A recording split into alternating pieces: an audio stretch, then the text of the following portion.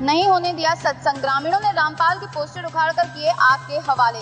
देहरा ग्राम पंचायत पाइसा के ग्रामीणों ने बाबा रामपाल का सत्संग नहीं होने दिया। सैकड़ों लोगों ने पहले रामपाल का सत्संग करने वाले व्यक्ति चूड़ सिंह को समझाया, लेकिन जब वो नहीं माना तो लोगों ने रामपाल के पोस्टरों को फाड़ कर आग के हवाले कर दिया। गौरतलब हो कि शनिवार को ग्रामीणों ने रामपाल का पुतला जलाकर प्रशासन को पहले ही सतर्क कर दिया था। यहाँ सत्संग हुआ तो स्थिति भयंकर रूप ले सकती है। इसके बावजूद भी रविवार को पुलिस की गैर मौजूदगी में सैकड़ों लोगों ने धावा बोलकर सत्संग बंद करवाया। यहाँ किसी के भी हताहत होने की खबर नहीं है। सत्संग करने की अनुमति भी नहीं दी गई थी।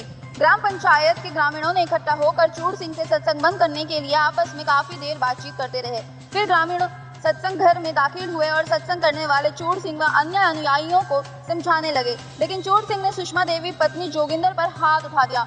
इससे माहौल गर्म हो गया और ग्रामीणों ने सत्संग घर में लगे रामपाल के पोस्टरों को फाड़ कर नारेबाजी करने लगे। स्थानीय पंचायत ग्राम प्रवीण कुमारी ने ग्रामीणों को समझाने की काफ़ी कोशिश की, लेकिन कोई नहीं माना। अगर अगर इधर करेंगे ना तब बात करना। नहीं ये बोले भगवान दिल में होता लेकिन शास्त्र होते हैं उनके शास्त्रों के अनुसार अंतरिक प्राप्त होते बाहर से नहीं आते। आते। हमें शर्म आ रही भगवान आता है। भगवान अंदर ने हमें। भगवान ने अपने जैसे हमें पैदा किया। शास्त्रों में लिखा हुआ बता अंदर है। अंदर। भगवान नहीं हो, क्यों नहीं भगवान अंदर। किसने पैदा किया मैंने जिसने सृष्टि चाहिए है लेकिन यहाँ नहीं होगा तो नहीं होगा।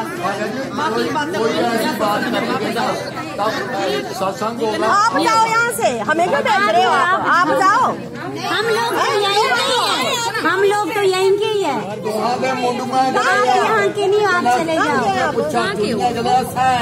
पूछा चुनिया गिलास है हम? नहीं बैठे हैं यहाँ पे क्यों बैठे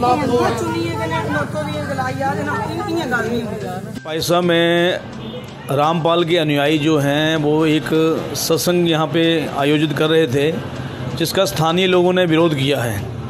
और प्रशासन ने भी उनको अनुमति नहीं दी थी और वो जबरन उसको करवाने का प्रयास कर रहे हैं।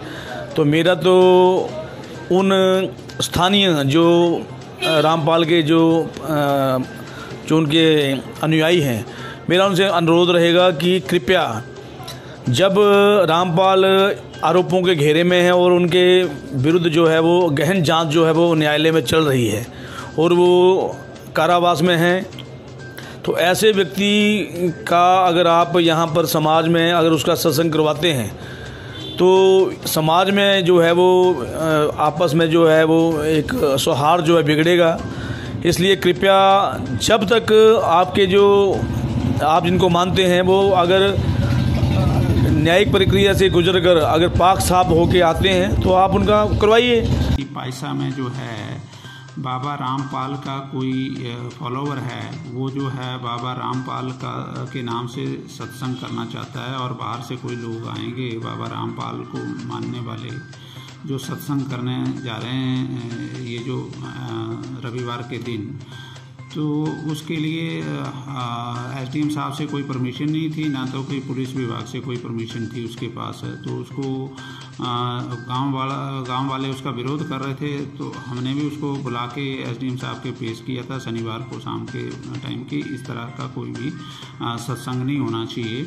तो उसने माना था कि नहीं, मैं नहीं करूँगा कोई भी सतना, सत्संग। उसके लिए एस डी एम साहब ने उसको कोई लिखित रूप से भी वो दिया था कि नहीं, कोई सत्संग नहीं होना चाहिए। और उसने माना था पुलिस को लिखित रूप से दिया था कि कोई सत्संग नहीं होगा। परंतु फिर भी शनिवार एतवार के दिन, रविवार के दिन कुछ लोग वहाँ इकट्ठे हुए और स्थिति थोड़ी सी ख़राब होने वाली थी, जिससे पर जो हमने प्रिवेंटिव मेजर के तहत उसको जो है अरेस्ट कर लिया और थाने में ले आए। और फिर उसके बाद माहौल जो है शांतिपूर्वक हो गया।